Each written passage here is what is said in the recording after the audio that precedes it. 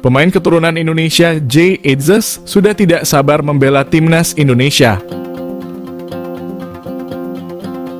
Jay sudah melakukan langkah maju dan bertemu dengan Ketua Umum PSSI Erick Thohir untuk bisa mendapatkan status.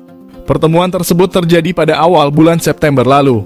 Jika segera diproses maka dia berpeluang besar untuk membela skuad Garuda di ajang Piala Asia 2023 pada bulan Januari tahun depan.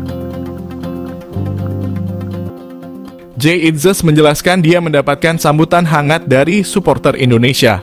Bahkan hal tersebut terjadi sejak dia bermain untuk Football Club Eindhoven pada tahun 2020. Pesan-pesan di media sosialnya diisi dukungan agar bisa segera membela timnas Indonesia.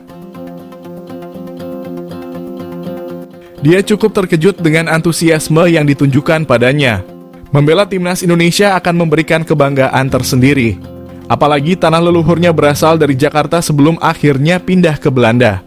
Tidak hanya bermain untuk skuad Garuda, pemain berusia 23 tahun ini ingin memberikan kontribusi lebih.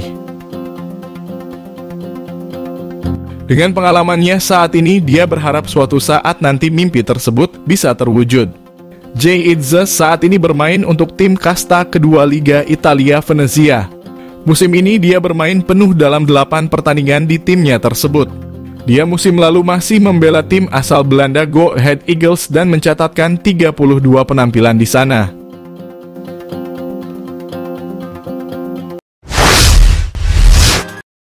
Shin Tae-yong bocorkan back Swansea City susul Jay Idzes yang tengah jalani naturalisasi. Pelatih timnas Indonesia Shin Tae-yong membocorkan bahwa back Swansea City Nathan Chu Aon masuk dalam proyeksi yang akan dinaturalisasi.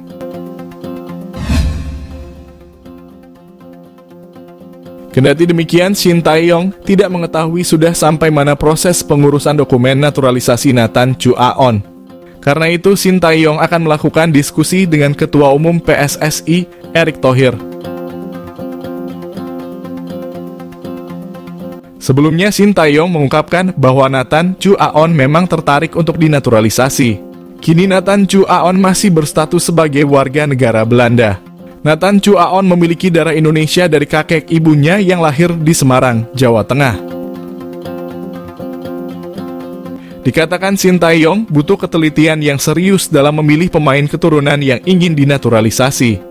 Sebelumnya, PSSI tengah mengurus proses naturalisasi back Venezia Football Club J. Itzes. Berdasarkan informasi terakhir, urusan administrasi naturalisasi J. Itzes sudah masuk ke Kementerian Hukum dan Hak Asasi Manusia Republik Indonesia. J. Itzes diproyeksikan memperkuat timnas Indonesia di Piala Asia 2023 Qatar.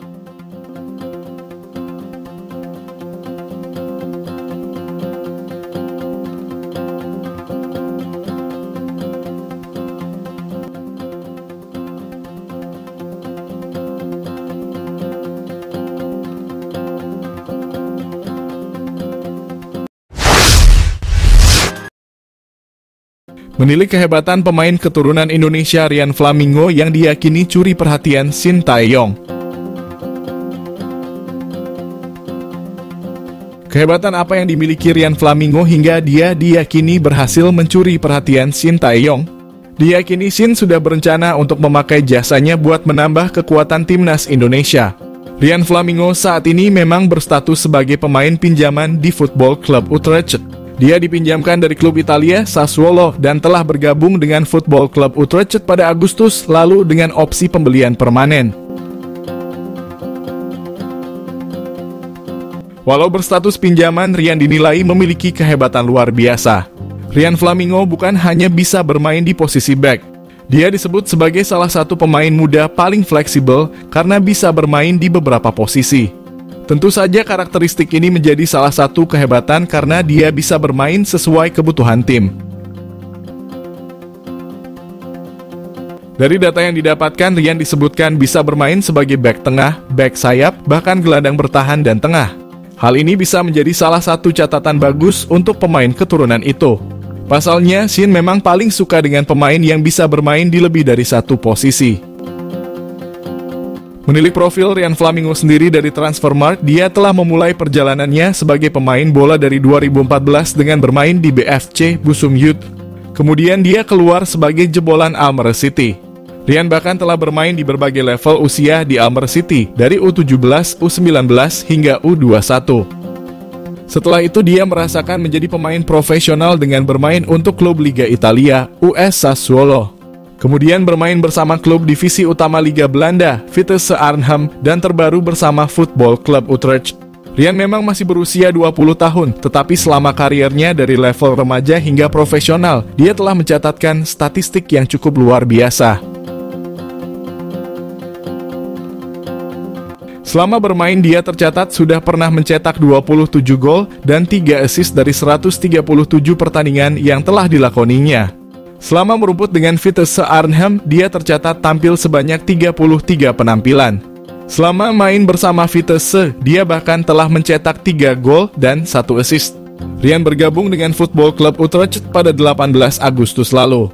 Rian Flamingo telah mencatatkan dirinya tampil sebanyak 4 laga, dengan 3 kali jadi pemain starter.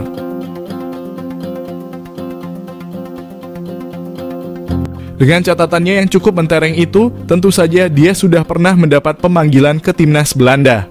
Rian telah dipanggil untuk memperkuat timnas U21 Belanda yang tampil di kualifikasi Euro U21. Namun Rian Flamingo belum pernah menjalani debutnya bersama timnas Belanda. Menilik kehebatan Rian tentu saja bisa dimaklumi apabila Shin Tae-yong merasa tertarik kepadanya. Dia bakal bisa menjadi salah satu pemain andalan timnas Indonesia ke depannya. Apalagi pemain itu masih berusia 20 tahun sehingga Rian bisa dianggap sebagai salah satu investasi jangka panjang untuk tim merah putih khususnya di posisi pertahanan.